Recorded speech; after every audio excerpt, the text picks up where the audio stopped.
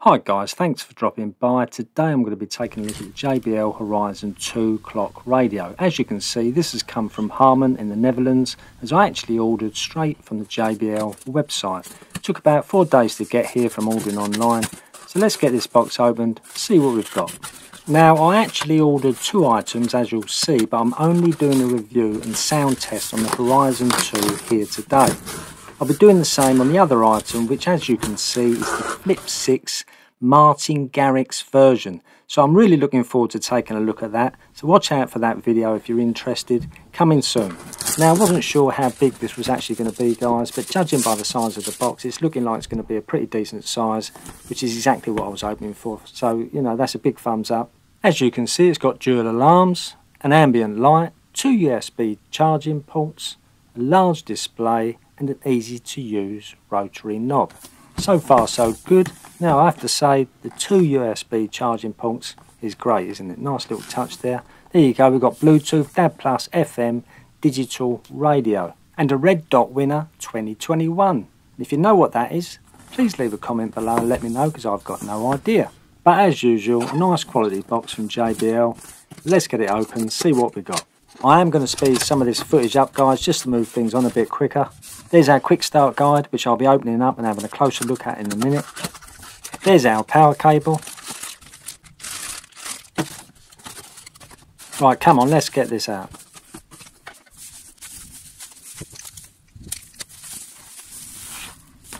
Oh this is nice. And there's a mirror on the front, that's a great little feature.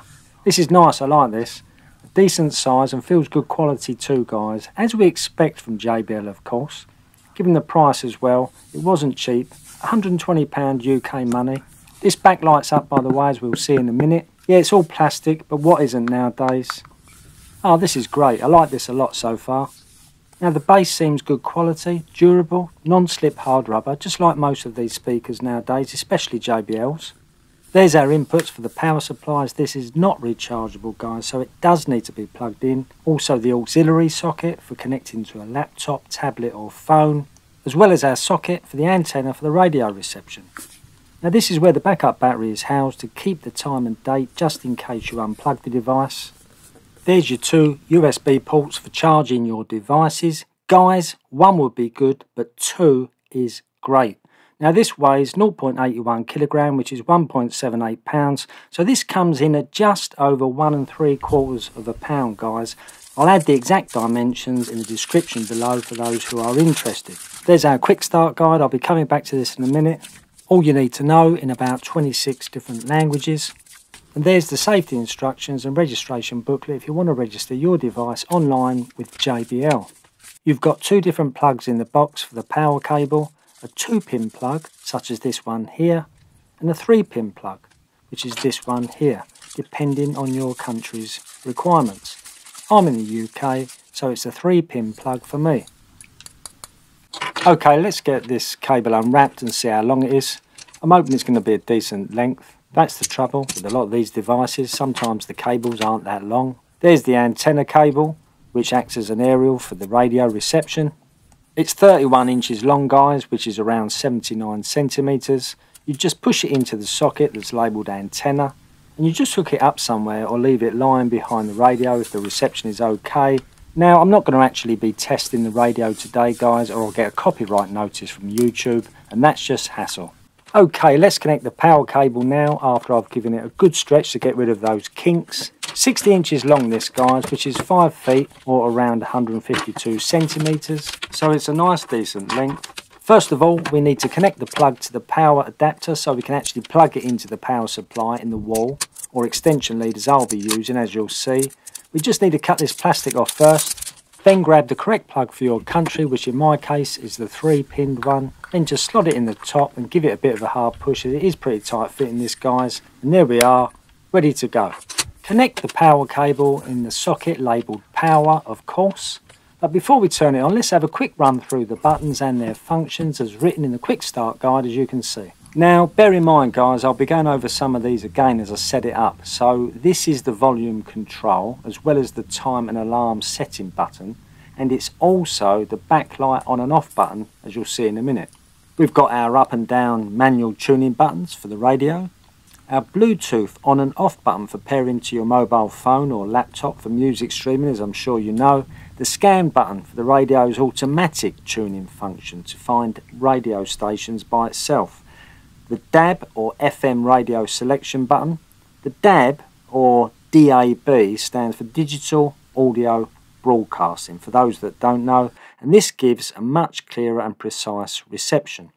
Then you have the three preset buttons to save three of your favourite stations to a quick press of either of these buttons. Then you have two separate alarm buttons so you can have two different alarm times set at the same time which can be quite handy if you need it. So that's pretty cool. There's the connections in the quick start guide. We're already connected so let's get it plugged in.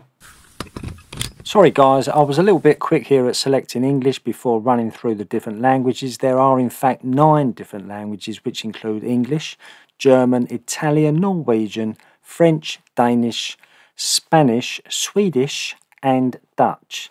All you do is turn the volume button to find your language and then press it to select that language. Then you just choose the 24 hour clock or 12 hour option which comes up uh, also just by turning it before pressing it to select it. Then once you've pressed the big button to select the time format, the clock setting automatically comes up next. Set the hour by turning the big button to change it to the correct hour. Then press the button to select and save that hour. Then the minutes come up automatically. Again, just turn and press the big button to change and set the minutes for the clock. Then repeat this process again to change and set the date to the correct date. And there you are, date and time set. It's all in the quick start guide, guys, as you can see. But look at this. Is this cool or what? All you do is press the big button to turn it on and then press it again to turn it off. And you've got a great little light for the bedroom. Brilliant. Now, another nice little feature that I really like is the automatic display dimming function. What this means is when your lights are on as they are now, and it's pretty bright in the room, the display is also bright, so you can see it of course. But when you turn the lights down low or off, the display automatically dims after around 10 seconds. That way it's bright enough to see in the dark but not too bright to bother you while resting or sleeping. Turn the lights back on again and the display brightens up almost straight away. So as simple as that is, it's a really nice little feature, I love it. Okay, now before I do a sound test, I'm going to have a quick look at this backup battery, which is there to keep the date and time correct if you unplug the device or there's a power cut. Now there's a little plastic tab that's there to stop the battery from being used while it's in storage before it's sold. Just pull it out and then the date and time will stay correct if the device is unplugged. This is a little lithium CR2032 battery that you can pretty much get anywhere and you know it really should last a very long time as it's hardly used. Now there's just one more thing to do before I try this speaker out. If I can get hold of the tab, There you go, looking very nice, shiny and new. Okay guys, I'm going to connect it to Bluetooth now and try this speaker out. Anything else I haven't covered is all in the quick start guide. Any questions, just ask in the comments below and I'll do my best to answer. So with no further ado, let's see how it sounds.